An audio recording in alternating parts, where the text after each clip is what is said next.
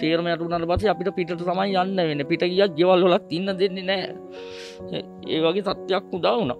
ඉතින් අපි ඒත් හිටියට පේ අයිනකට වෙලා ගියක් අයිනකට රයිට් එතනුත් තෙරෙව් අපි කොරෝනා තියෙන ඔහේ ඉන්නේ පාර කැම එකයි කියලා පාර අනුකම්පා කොල්ල එක ගෙදරක තිබිලා තමයි වැඩ කොන්න ගෙදරක ඒ පාර අර බල්ල බලල්ලු වගේ හිටියා.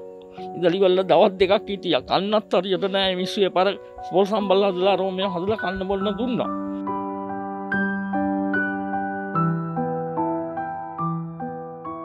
පවුලේ ළමයි තුන් දෙනෙක් ඉන්නවා. නෝනයි මම ඉන්නේ. කුලී නිවසක ඉන්නේ.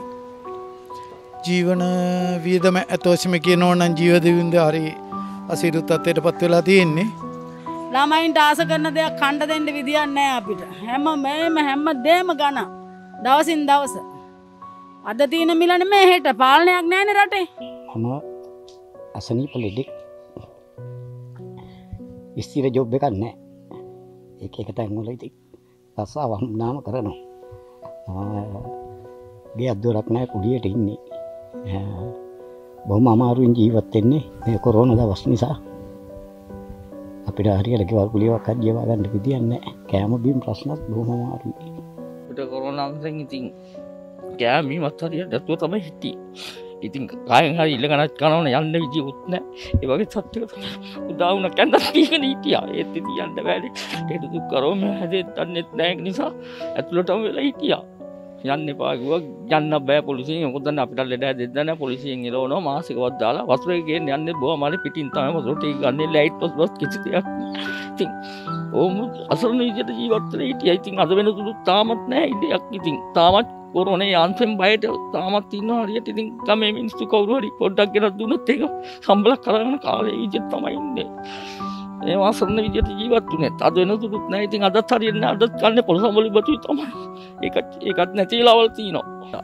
අයිඩින්ටිය රෝම අයිඩින්ටීටි ගත්ත ගන්න උන්න අපි දන්න එක පාටම මසුර පාරාව දන්න අරම ප්‍රමූදරැල්ල ගැලුවාගේ ජට වෙලා.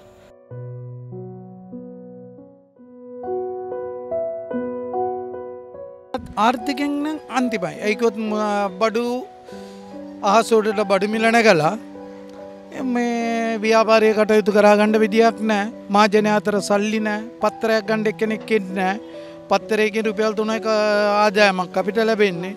පත්තර දහයක් දවසට විකෙන ඉන්න. අන කඩේ වහගන පත්තර විකනටත් බෑ. ඒ වගේම තමයි හැම්ම එකනෙකටම මෙතන පිටකුටේ වෙළඳ ව්‍යාපාරය කරන හැම්ම දෙනාම හරිය අසීරු තත්වයෙන් තමයි පත්වෙන්. ජීවත්වීම තමයි. ජීවතයෙන් බඩුමිල තමයි අපිට පහල යන්න ඕන සාමාන්‍ය ලොකු මිනිියට මේක දැනෙන්නේ නෑ.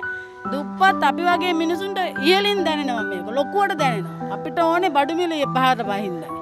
දීල අපේ ජීවන රටාව සුපුරුදු පරිදි රස්සාාව කරගෙන යන්ට වාතාවරණයක් සලස්සන්ට තමයි අපි බලාපොරොත්තුවෙන් අපට වෙන මුකුත්වෙන්න අපි ඉඩ ගඩන් ඉල්ලන්න රැකි රක්ෂාවල් ඉල්ලන්නේ නෑ අපිට ඕනේ පේමට්ටගේ අපේ එදාවේල ඔයාගෙන අපේ දරුව සන්තෝසෙන් තියෙන බලාපොරොත්තු විතරයි අපිට තියෙන ආදාමරකයාව බොහම අමාරු දැන් කරගෙන යන්නේ.